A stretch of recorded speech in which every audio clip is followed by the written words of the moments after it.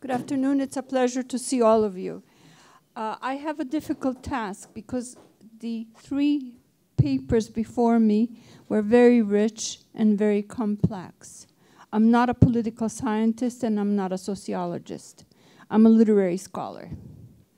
And I was attempting to read the papers, and I read all of them completely, and to see what kind of connections I can make, what kind of historical and literary analogs I can provide as a stimulus for discussion.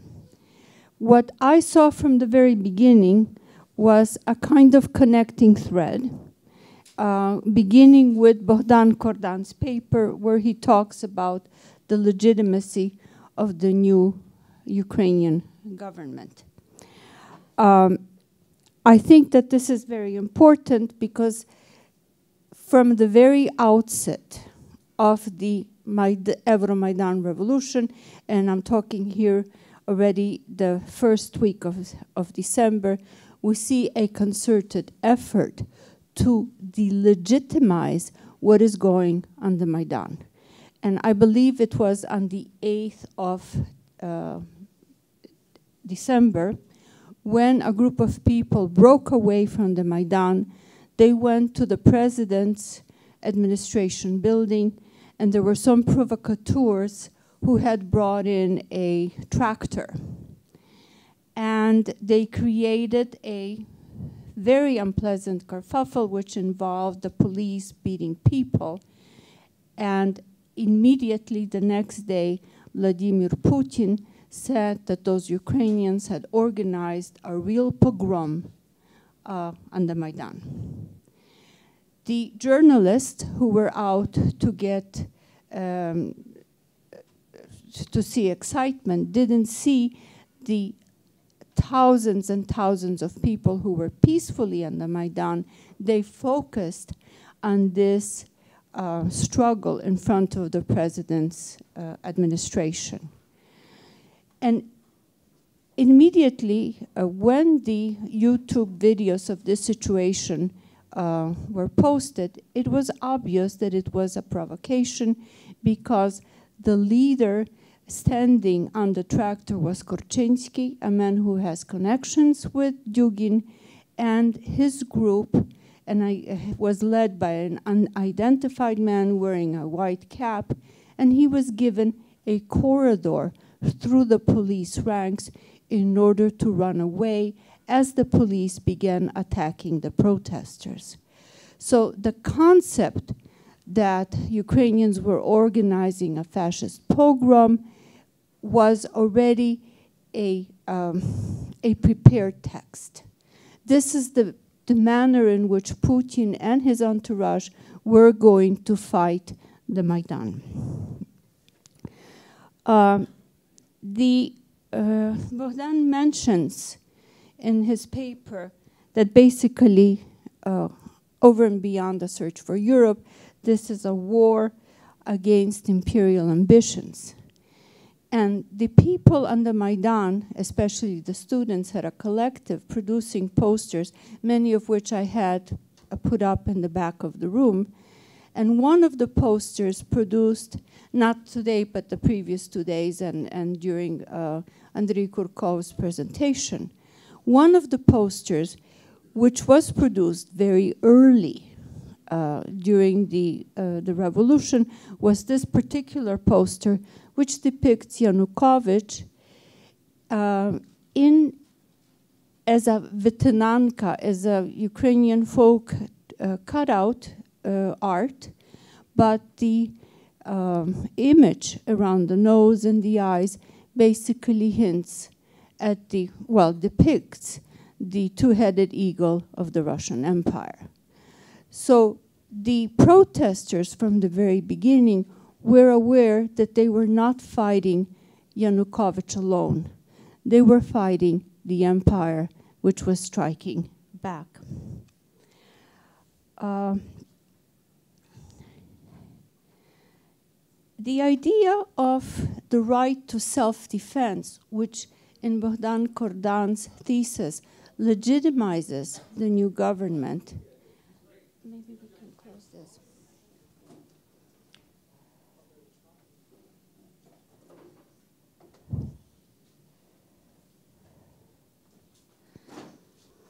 Is an important one, and I wholeheartedly concur with the thesis, and I would like to state that it has a long history in Ukrainian culture. Um, when we have, and I'm going to take you back to the end of the 16th, the beginning of the 17th century, when the there is a vertical integration of Ukrainian society when we have the Ukrainian hierarchy, Ukrainian scholars, tradesmen, guildsmen getting together to create a new educational system borrowed from the West. And here I will take, um, make a little footnote. The quest to be part of Europe is not new. We have it already in the Middle Ages with the kinds of literary choices that Yaroslav the Wise makes and the manner in which he constructs his Cathedral of Wisdom. It gets repeated at the end of the 16th century when there is a need to counter local corruption in the Orthodox Church. And you have a vertical integration of the Orthodox educated clergy and the scholars in Prince Ostrogski and the Cossacks, producing a new educational system which gradually introduces the Neo-Latin educational system. It is within this system that Ukrainians import a completely different cultural model than the one they inherited from Byzantium.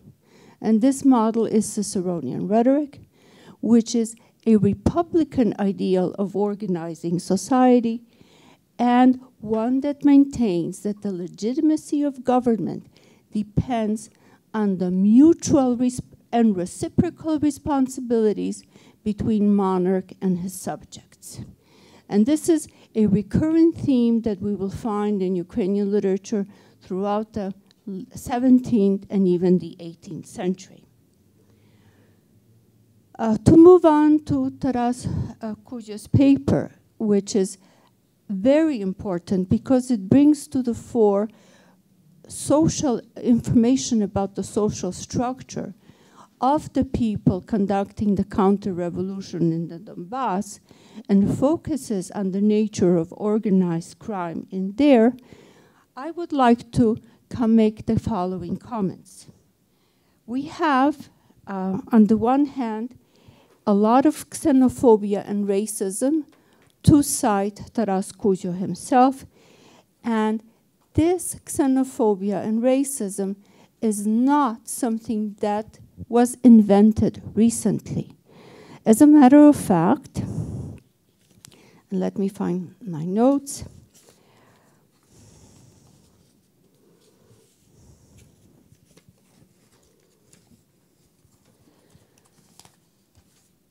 xenophobic and racist material have been appearing since at least 2005. In 2005, Grigory Savitsky published uh, Battlefield Ukraine, The Broken Trident, uh, Trident which depicts a scenario uh, where you have orange Nazis fighting, uh, conducting a civil war in Ukraine, and unleashing a genocide against the Russian-speaking population. Another example of this type of literature is um, uh, actually a forerunner was the novel Omega by the veteran science fiction writer Andrei Valentinov. And in it, he talks about a pro-Western Orange Revolution, and he gives alternative versions of what happened in 2004. And he talks about the dystopia in which Crimea, a, a, a dystopia in which Crimea hasn't been invaded and occupied by NATO forces in 1995. If you have been following current events, then you realize that what is described in these novels is very prescient of what is taking place uh, here. There's another novel by Bobrov, um, uh, and another novel by Berezin. I'm not going to go into details because I don't want to. Uh, you have the covers here. One is from 2006, the other one uh, appeared in 2009 and 2010. And if you carefully read these novels, the scenarios that are being developed today in the Donbass and the Crimea are all there. Uh, as a matter of fact, Avako at one point commented that it is frightening to see these things coming out in print. And I focused only on the material published in Donbass, in Donetsk and Luhansk. There are dozens of novels and plays and films produced in Russia proper with uh, a similar vocabulary, uh, which, which I would say promotes a discourse of hatred and depicts Ukrainians as Nazis and fascists who are introducing a genocide against the Russians. Now, uh, another aspect of uh, Taras Kuzio's paper, which I found very interesting, is that a recent um, report, uh, which appeared in, uh, which was published by Yuri Makarov, a Bulgarian born publicist and the former editor of Ukrainsky Tizhden. Um, and this appeared only a week and a half ago, very recently. Uh, but it appeared before I received Taras's paper.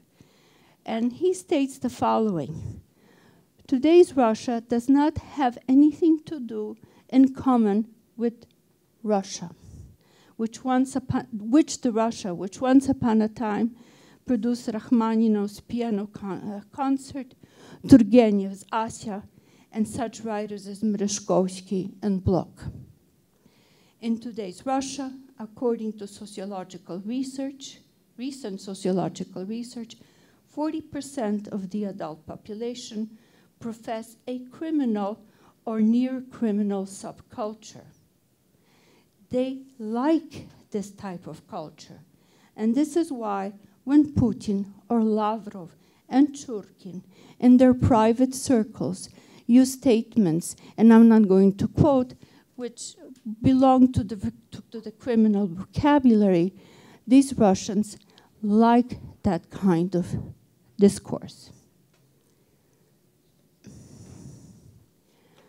Um, let me turn now to uh, Professor Vinitsky's very rich paper and one that will take a lot of time to process.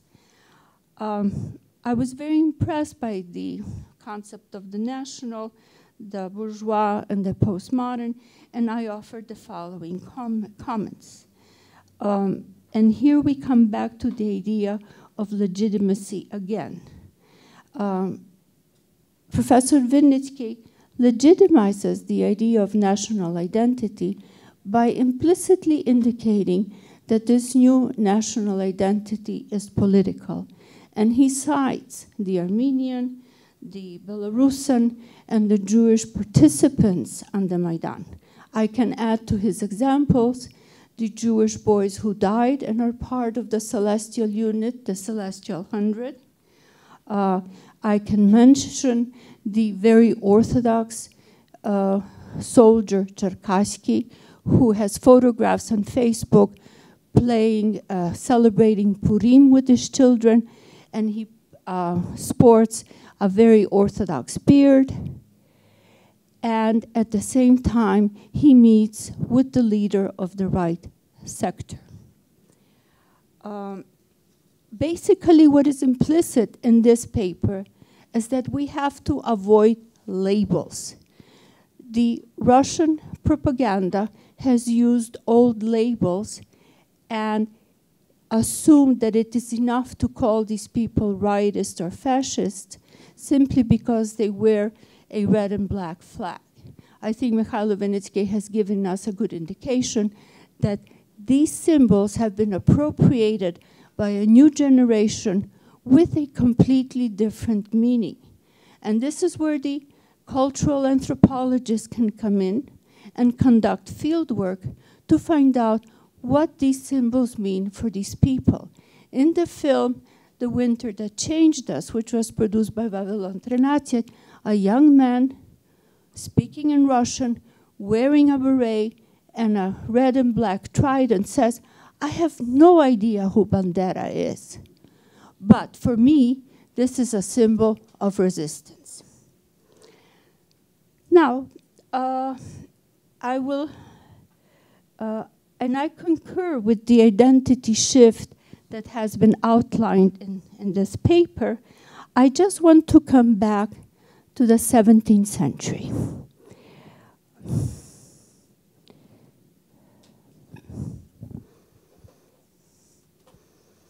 And that's why technology doesn't work with me all the time because I live in a different period. Um, it was mentioned that we have a kind of combination of the individual and the collective. And I would like to draw your attention to a famous poem written by the monk, an Orthodox monk who wrote in Polish and in Latin and in Church Slavonic and wrote poetry in Ruthenian, that is in the Middle Belarusian and Middle Ukrainian language.